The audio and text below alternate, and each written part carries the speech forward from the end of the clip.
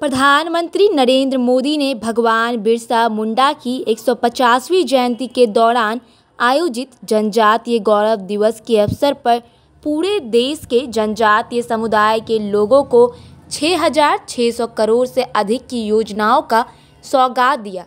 इस दौरान प्रधानमंत्री नरेंद्र मोदी ने रिमोट दबाकर इस अभियान का शुभारंभ जमुई के खैरा प्रखंड स्थित बल्लोपुर से किया। इस मौके पर हज़ारों की संख्या में आदिवासी समाज के लोग और आम लोग उपस्थित थे। नरेंद्र मोदी ने दो जनजातीय अनुसंधान संस्थान, दो जनजातीय स्वतंत्रता सेनानी संग्रहालय, पैंतीस एकलव्य आदर्श आवासीय विद्यालय, आश्रम विद्यालय के उन्नयन हेतु परियोजनाओं का शुभारंभ किया। इसके अलावा छः सेंटर ऑफ़ कम्पिटेंसी, तीस मोबाइल मेडिकल यूनिट 304 नए छात्रावास, एक दशमलव एक छः लाख नए पक्के आवास 300 वन धन विकास केंद्र 150 नए बहुउद्देशीय केंद्र की स्वीकृति प्रदान की। इसके अलावा छियासठ नए छात्रावास की स्वीकृति भी प्रदान की।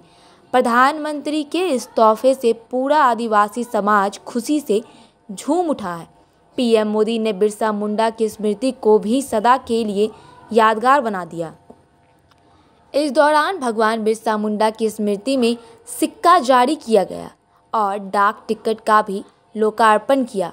इस मौके पर राज्यपाल राजेंद्र विश्वनाथ अड़लेकर मुख्यमंत्री नीतीश कुमार, केंद्रीय मंत्री जीतन राम मांझी, चिराग पासवान और अन्य नेता मौजूद रहे।